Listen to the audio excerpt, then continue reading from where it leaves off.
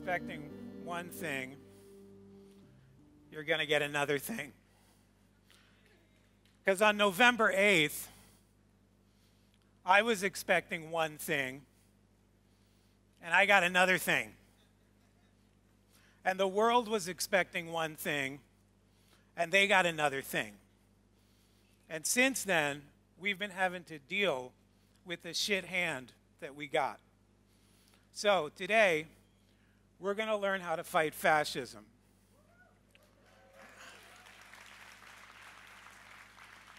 So, my name is Mike Monteiro. I'm a designer, and I'm also an immigrant in the fascist occupied United States of America. And I have a question for you. Do you want to talk about design or do you want to talk about politics? At this moment in time, with the world being what it is, with your civil liberties being threatened, with families being separated, with people being denied protection and services based on religion and gender and race. And once again, under the threat of nuclear war, and this is not a U.S. problem, this is a world problem. And under the threat of fascism, do you want to talk about design? Applause? No? Or do you want to talk about politics? Okay. Guess what? It's a trick question. Come on, you guys knew that. Design is always political. Every choice that we make is political. From, who's, from choosing who to work for, to the problems that we want to work on, to the decisions that we make while solving those problems, to the people involved in solving those problems, and the people not involved in solving those problems, and the way those solutions get implemented, and most in, and to the people that those solutions are going to benefit or punish. Design is always political because design is labor. And your labor is political. And, and the political is always designed. But, Mike, I thought design was something else. I thought it was something that I could put on Dribbble or make a 100 days personal passion project about or a temporary tattoo. Let's define design.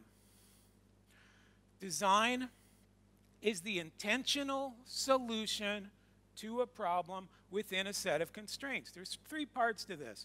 First off, you need a problem to solve, like getting from point A to point B or cutting down harassment on your social network. That's a problem in search of a design solution. Increasing shareholder value is not a problem. It's a desire, possibly a fetish. Next, you need to know the constraints that you're working in. For example, it's got to be free, or it's got to be open to everyone, or maybe the water coming out of the kitchen faucet needs to be potable, things like that.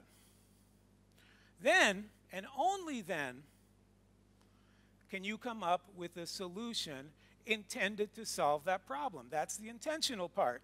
Design is the intentional solution to a problem within a set of constraints.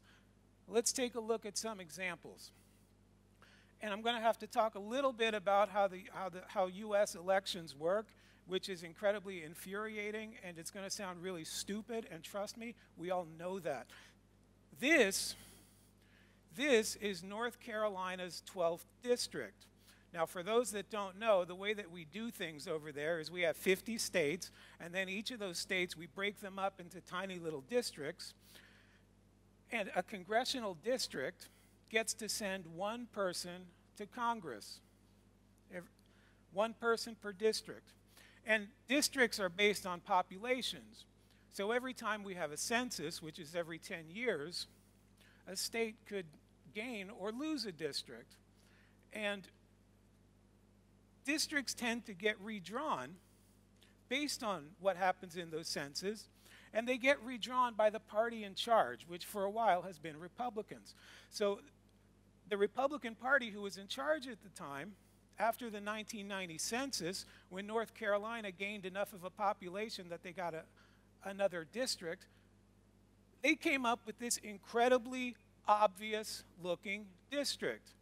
That's an obvious shape, right? You want to know what's special about it? It contains the cities of Winston-Salem, Greensboro, and Charlotte.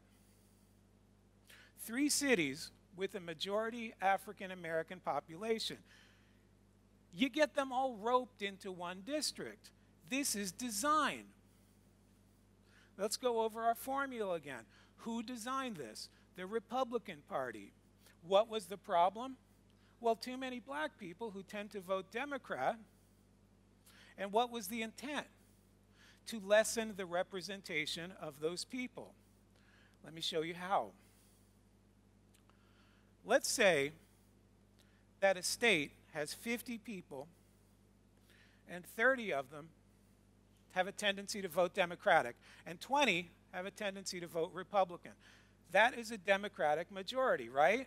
Right. And a national election in this state is going to go Democratic. But when it comes time to vote for congressional representation, we have to divide this state into districts, and by law, those districts need to be as equal as possible in population size. So let's say we divide it into five equal districts, each with 10 voters. So you get five districts, each with a Democratic majority, which mirrors the population of the state. But what if we did a little border math, a little, a little magic border math? What if we designed those districts just a little bit differently? And there's that word again design. Still five districts, still equal in size, but if you take a look very carefully now, you will see that only two of those districts are sending a Democrat to Congress, and three of them are now sending a Republican. And it did this by grouping as many Democrats as possible into those two districts. So now it makes sense why you would create such a funny, weird looking shape that encompassed Charlotte, Winston-Salem, and Greensboro, right? This is design. This is an intentional solution to a problem within a set of constraints. This is called gerrymandering. It is also called subverting the will of the people, and it's undemocratic. Here's some more examples of it. These are the shape of design, and these are designed this way for a reason. And you better believe that they're designed to screw someone. And not just someone, they're designed to keep the powerless from attaining power. They're designed to keep people from being represented. They're designed to keep people down. There's more. The Voting Rights Act, signed into law in 1965 to ensure that African Americans were not denied their right to vote was designed to be a safeguard against racism. People who gave a shit designed the Voting Rights Act to make sure all Americans could participate in the electoral process, especially a group of Americans that had been systematically screwed. Now, in 2016, the Supreme Court repealed it supposedly, and I shit you not, because racism was over. They said that. Now, without the protection of the Voting Rights Act, many of the states with historically problematic race histories began designing laws to make voting harder supposedly in the name of, a, of solving a problem called voter fraud. But since we've had about four actual cases of voter fraud in the last 200 years, that kind of doesn't sound true to me. It's a lie. So, what problem were they really solving?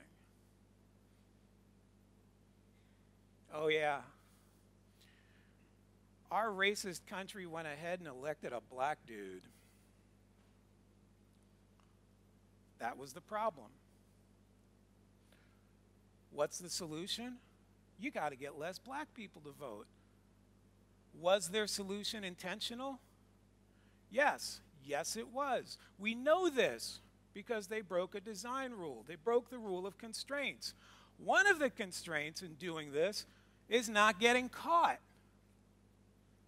And they got caught, at least in North Carolina. And the judge said in this particular case, the, the judge who heard this confirmed yet another design rule. There was intent. They intended to keep black people from voting. And just a few, uh, just about a month ago, a federal judge in Texas decided the same thing. It's okay though, it worked fine in other places. It worked fine in just enough places. In 2016, 14 states had new voting restrictions on the books. Restrictions made possible by the repeal of the Voting Rights Act. And they joined six states that had previously enacted voting restrictions. This was intentional. This was by design. This was the intentional solution to a problem within a set of constraints. These voting laws were all intended to make it harder for blacks to vote. We have a U.S. judge in North Carolina on the record saying this. And you'll see that North Carolina is not one of those states. But no matter, North Carolina was just the cherry on the shit sundae that was the 2016 presidential election. Because the 2016 presidential election gave us this. And anyone who wants to defend this behavior can leave right now. This is the result of that design decision. This is the result of intent. This is the result of that design decision. And this is the result of that design decision. And this is the result of that design decision. Years in the making, all with the goal of further disenfranchising the powerless, of holding on to power. The last gasp of a hateful generation, the last gasp of a small minded minority. And yes, when there are three million less of you, you are by definition a minority because we won that election by three million votes. People intent on blaming immigrants, refugees, women, Muslims, trans folk for their own self loathing. But you know what?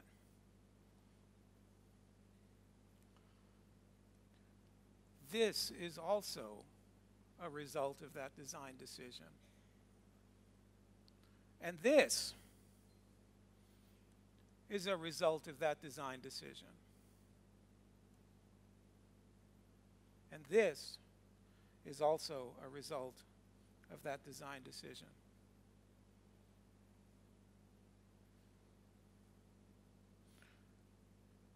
And even this, which I got to see yesterday and saw the amazing notes on there and wished I could read them, but even without reading them, I understood this is a result of that design decision. And that's why we're here today. We're here today because we designed our way into this, and we can design our way out of it. We're here today because, strangely enough, I have never felt better about the future.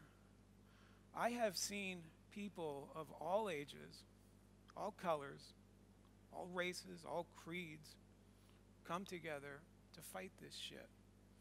A month after the election, I was in Philadelphia, as the city where I grew up, and a city where I used to get beat up on a daily basis for being an immigrant. And I was at a march at the airport where people were shouting in, in support of immigration. I've seen people protecting Muslims while they prayed at American airports. We're here today because this is our fight as much as anyone's. We're here today because we do not get to opt out. We need to design the future differently than we've designed the past. We need to look at the design decisions that got us to where we are today. We need to look at who made them. We need to look at who was left out of them. We need to look at who got screwed by them. And we need to look at who benefited from those decisions because design is intentional. So a system designed to fuck someone is designed to fuck someone on purpose.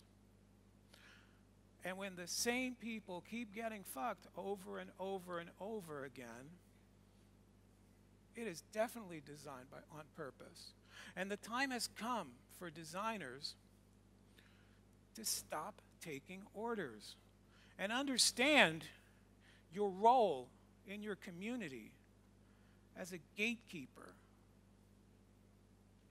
so when we talk about design, and trust me, we are talking about design, we have to talk about the ethics of designers because a lack of ethics is a precursor to fascism. Our, only, our solutions can only be as good as we are. Our solutions can only be as good as the people making them. Our solutions can only be as good as our intent. And when the designers are rotten, the design is rotten. And when designers are contemptuous and filled with hate, the design will be contemptuous and filled with hate. A while back, the AIGA, which is an organization that says it takes care of designers in the U.S., tweeted this out. Should the poor behavior of big businesses concern the designers that work for them? Should it? How the fuck is this even a question? How is ethics in design even debatable? Can you imagine any other industry debating whether ethics was important? Can you imagine doctors debating whether ethics are important? Or accountants or teachers, the people who take care of your kids, the people who take care of your parents. As a community, have we fallen to the level of debating the importance of ethics that's usually reserved for politicians, bankers, hedge fund managers, bookies, and pimps? Apparently, we have.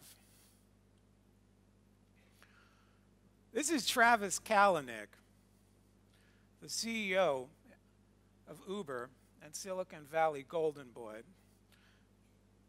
Last year, Travis Kalanick, whose name rhymes with prick, he joined Donald Trump's Business Advisory Council. And yeah, he stepped down. He stepped down because of protests and he stepped down because of bad PR. He doesn't get credit for stepping down, we get credit from knocking him off. And as he was agreeing to work with Trump, this is what he told his employees We will partner with anyone as long as they're making transportation better. This is the 2017 equivalent of Mussolini promising to make the trains run on time. As long as it works in our benefit, we don't care how it happens. This is the exact opposite of ethics. And because I enjoy picking on Travis, because he's got a face only a boxing glove could love, let me throw in one more example. Susan Fowler, once an engineer at Uber, very courageously detailed out a history of harassment and abuse that she suffered at that company. Not just from her managers, but also by their own HR department, their own human resources department, a department theoretically put in place to protect employees. But as workers continue to give up their rights, places like Uber's become more and more like company towns of old, with HR departments behaving like thugs hired by the company to root out troublemakers. This is also by design. We spent a generation rolling back the rights of workers, rights that were hard won, rights that people died for. And we've traded those rights for the oblique promise of options and swordfish at lunch in the cafeteria. And you don't get to make fun of poor people buying lottery tickets when you've traded in all of your rights as a worker for a chance to start it rich when your startup goes public. It is the same thing.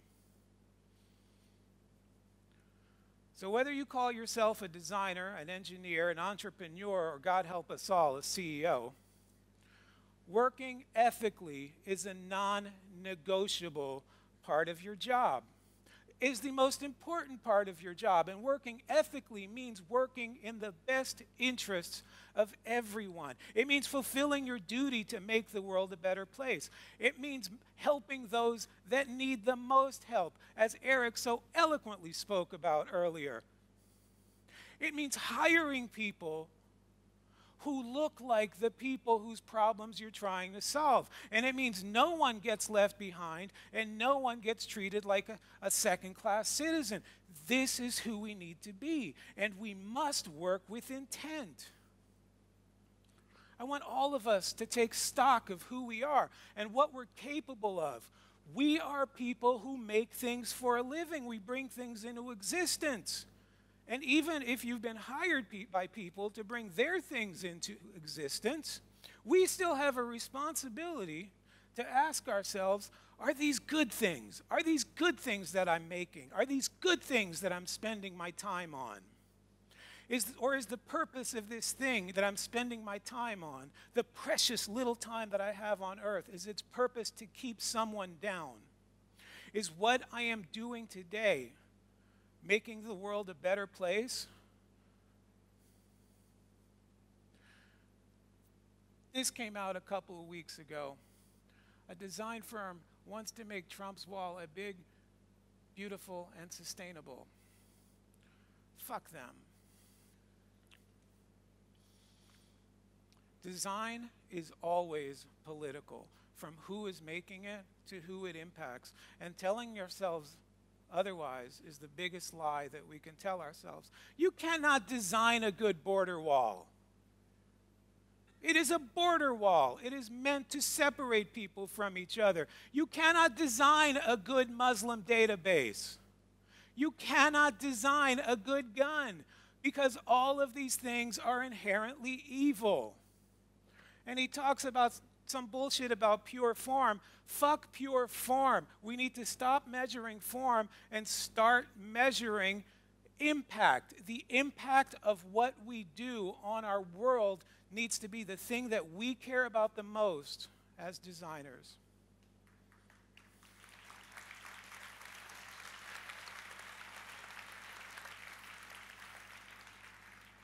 Now, early last year, in the wake of one of the many, many, many, many, many, many gun shootings in America, the government, the one in San Bernardino, the government demanded that Apple hack into a shooter's iPhone because it was encrypted.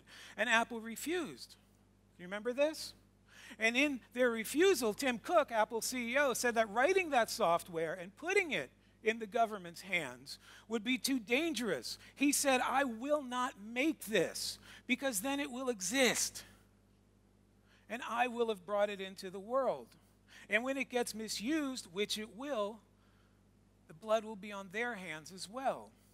And not all of us are lucky enough to work with somebody who would take that kind of ethical stance. And God knows they don't take that kind of ethical stance on everything they do, but they nailed this one.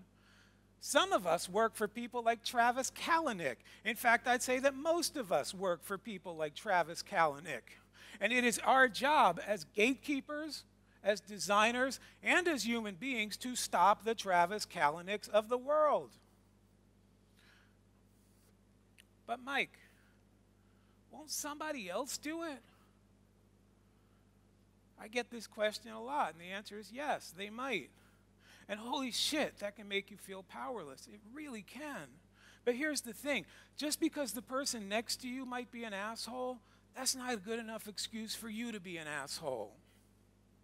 And I get that you don't want to lose your job. I get that you have rent to pay. But earning that at the expense of somebody else's livelihood and somebody else's freedom is not a good way to live. So rather than ask yourself, won't somebody else make it? Ask yourself, what if me saying no is the inspiration to other people to stand up? What if me saying no is the first step in a movement? What if me saying no is the first step in making things right? Do I want to get you fired from your jobs? No, I don't. Do I think some of you might? Yes, I do. I don't want to lie to you. I never said it would be easy, but I promise you it'll be worth it. Because in the end, if we stand up for ourselves, if we behave with agency, if we do the job right, we will become more effective at what we do. We will become more powerful in what we do. We will sleep better at night, and we will be doing the right thing. We will be designing the world to be a better place. How do we do this? Well, I have some ideas. You can't follow orders anymore. If you want to fight fascism, you cannot just blindly follow the orders that you are giving. What you need is you need to question every single decision that you're making and ask yourself, where could this decision lead? Because our goal here isn't just to thwart fascism in the here and now, and it is here. Our goal is to help build a better world where fascism has a much harder job taking root. That means that we need to analyze the things that we are asked to do. We need to look at it from several points of view. And we need different points of view in the room when these things are being designed. When your design team is 90% white and male, you've already started marginalizing people. And the minute that you start marginalizing people, you have created the perfect petri dish for fascism to grow. Here's an article I came across recently. Palantir provides the engine for Donald Trump's deportation machine. Palantir, for those of you unfamiliar with the devil, is the data mining company founded by Peter Thiel. This is the guy who took down Gawker, by the way. And regardless of how you might have felt about Gawker, the idea that an individual can shut down the press by brute force bankrolling lawsuits that he had absolutely nothing to do with should scare the shit out of you. Peter Thiel is also a Trump crony. So his company, Palantir, is designing the data mining operation that the Immigration and Customs Enforcement is using to identify and round up immigrants in the United States. Now, here's a process diagram for that. And I know it does that because that's what it says. Now, here's the thing this diagram was made by a designer of some sort. Maybe they call themselves an engineer, it doesn't matter. What matters is that they knew what this was going to be used for, and they designed it. And other designers are going to come in, they're going to do the interface. Other designers are going to come in, and they're going to do the development, et cetera, et cetera, et cetera. They are following orders. Except the orders are unethical. They are intended to cause harm to others. And as a designer, this has to matter to you. Which brings us back to Tim Cook and his decryption software. Something we consider too dangerous to create. We create these things. Our labor is in them. And when your labor is in something, you bear responsibility for what you create. You can't just wash your hands of it. If you're designing a gun, you can't be surprised when that gun kills someone. If you design decryption software, you can't be surprised when that decryption software is used to hack into people's private information. And when you design data mining software targeted at Muslims or immigrants, you can't be surprised when that software is used to round up Muslims and immigrants. This job that we do carries with it a set of ethics that is just as important, if not more so, than any other skill that we have. And the question of should I design it is infinitely more important than can I design it? And it is your duty as a designer to bring up things that do not pass that ethical test. And having brought them up, if you find yourself in a position where your concerns are being dismissed, or you find out that hurting people is actually the objective of the thing you're building, you need to stop. You need to bring that work to a grinding halt by any means necessary. And it is also my duty that if I find out you do not care about ethics and design, I do everything in my power to talk you out of being a designer.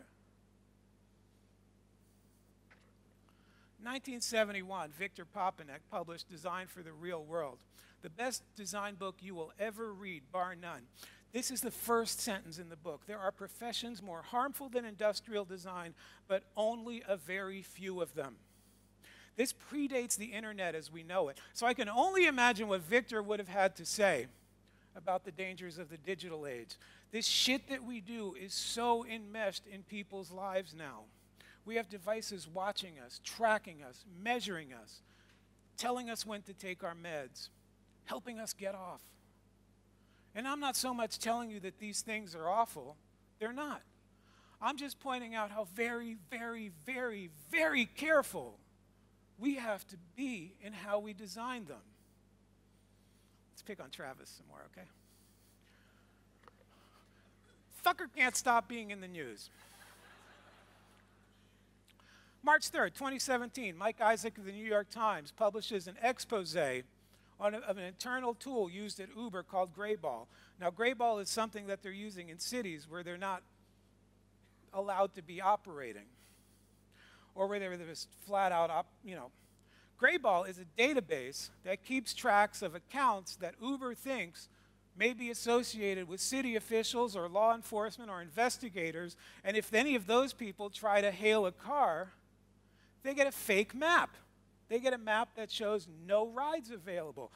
Is this unethical? Fuck yes, it's unethical. It was unethical to conceive. It was unethical to design. It was unethical to implement. It was unethical to maintain. And every Uber employee that touched Greyball behaved unethically. They designed it with the purpose of deceiving a segment of the population. And never forget, that the one thing companies like Uber need to exist is income disparity. The entire service economy is built on that premise. We need one group of people with enough income to pay a second group of people desperate for income to perform menial tasks. The rise of fascism in America came at the time of the highest income disparity America has ever seen. That's not an accident. That's by design. And this is where the majority of designers are putting their time and talent. More than ever, we need to look at how we're designing the world and who is designing it. We need to take stock in who we're working for, and we need to take stock in what they're doing. We have serious problems to solve. Make sure that you're working at places that actually care about solving them and work on ways that actually empower people. And for Christ's sake, hire some goddamn women in Silicon Valley already.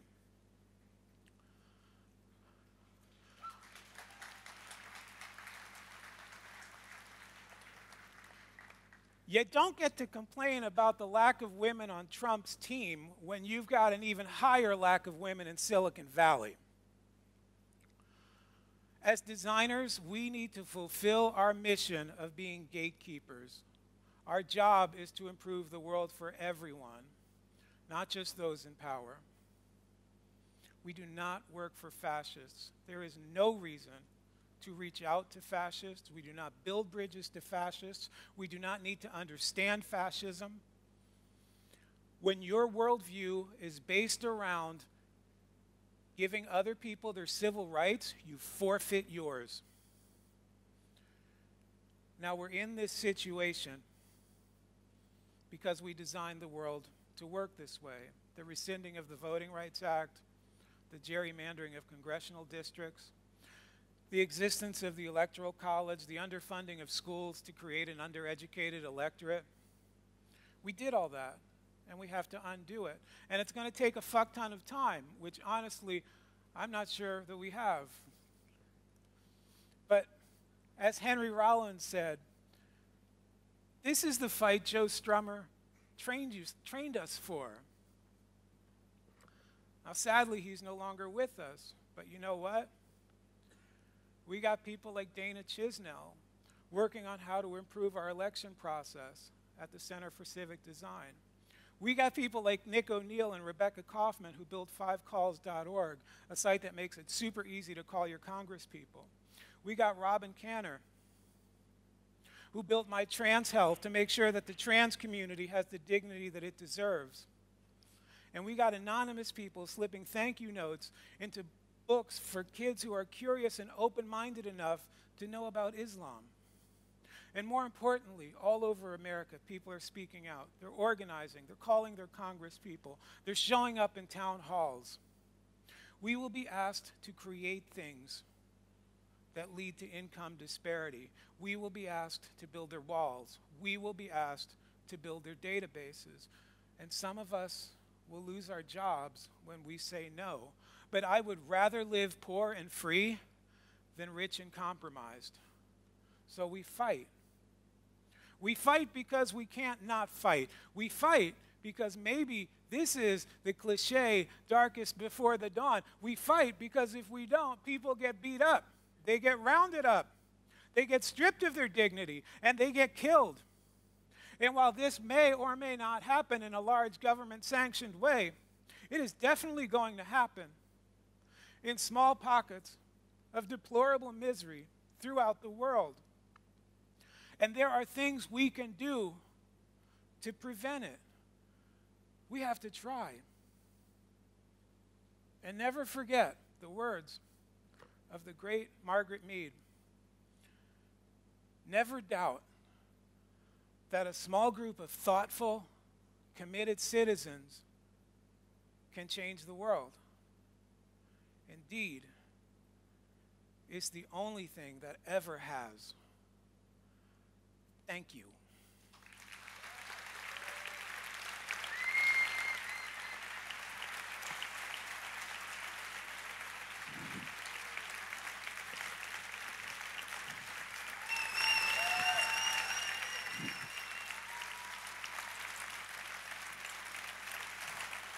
Amazing.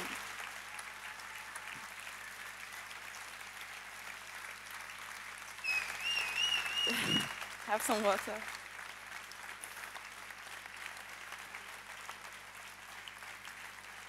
Wow.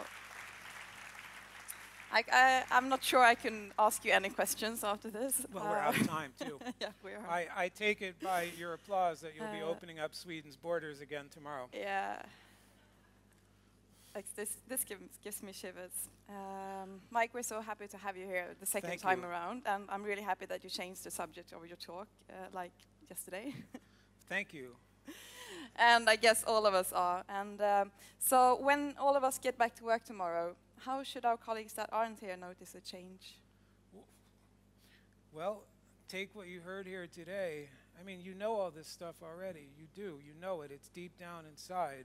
You were raised by good people who taught you well, and then you went to school and they took it out of you, and, and your whole life people have been trying to get you to forget that, that good seed dou- deep down inside you. Let it grow, man. Be the people that your dogs think you are.